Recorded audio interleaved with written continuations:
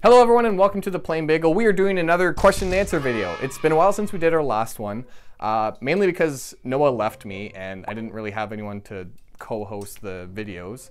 Uh, but now I have my friend, my good friend Craig Lord, who will be filming these uh, with me in the future. He's actually helped me film a few episodes. He's someone who works in the Ottawa area as a journalist. So Craig's going to be helping me film these uh, moving forward. Uh, really thankful to him that I don't have to pay him for his help. What?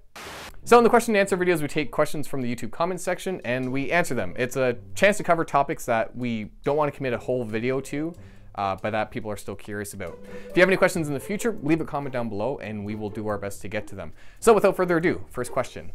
X325 asks, would you talk about the way Canada taxes traders? By trader, I mean people who trade in the few weeks to a few month time frame. In Canada, there's actually no such uh, differentiation between short-term and long-term capital gains. So if you're trading within weeks and months, you're not going to see any issue there. You're still going to have a capital gains tax as if you had held that position for three years or five years. Um, I know there are some rules on day trading taxes, which I don't know the details about. Uh, but again, that's if you're buying and selling within the same day. So if your time frame is a few weeks and a few months, Typically, uh, you know, as with all other capital gains, you'll pay 50% of your marginal tax rate on the gains that you've made on your positions, just like you would with a five-year position. The next two are from the synthetic stock video. Shamanzo asks, how long do you hold this synthetic stock? Seems like short term. Yeah, so uh, I should have mentioned this in the video. Synthetic stocks only last for the duration of the options. So because options are uh, you know, three months, six months, sometimes a year uh, in length. Once that time passes, the option no longer exists. It's either exercised or it's expired. Um, so that's a key differentiation because obviously a stock doesn't expire unless the company, you know, goes bankrupt. But again, like I mentioned in the video, the reason why people make these synthetic stocks is for arbitrage opportunity. Uh, if you have your synthetic stock and your normal stock, and one's cheaper and one's more expensive, then you can buy the cheap one and, and sell the expensive one. It's an opportunity to kind of lock in a profit that way. Um, but yes, it's it. You don't have this synthetic stock for a long period of time.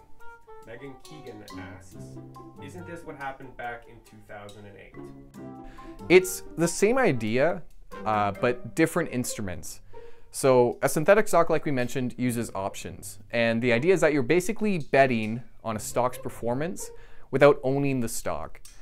In 2008, we had kind of a similar setup, but people were instead betting on mortgage payments. So you had this arrangement where people were buying houses on mortgages and making payments to their mortgages. Um, and there are people on the side basically putting side bets on whether that person will default or not. So long answer short, it's the same idea, but different securities. Uh, both involve uh, having investors doing side bets on an investment or transaction that they aren't originally a part of. Medat Ali asks, would you please explain duration and convexity? Ooh, those are complex topics. The technical definition of duration is the weighted average time for which payments of a fixed income investment are paid.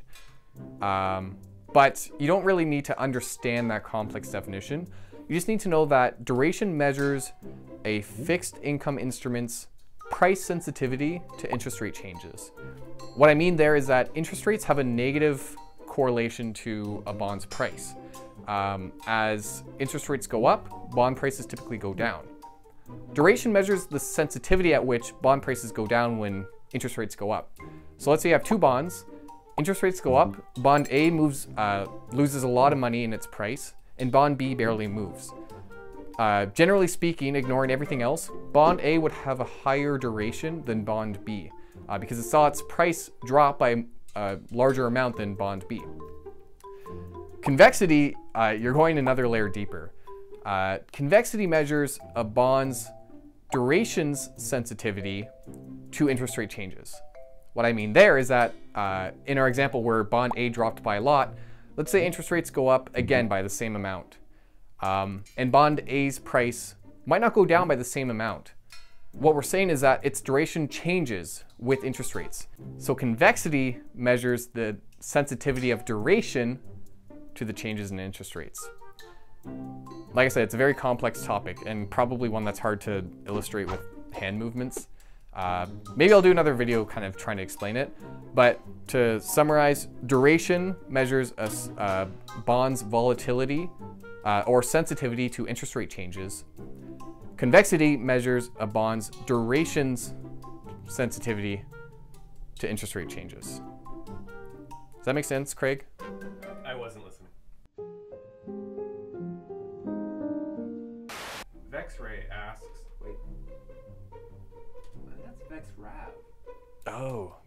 Yeah, it's VexRav. It is. I mean, Vexray is a better name. I'm sorry, Vexray.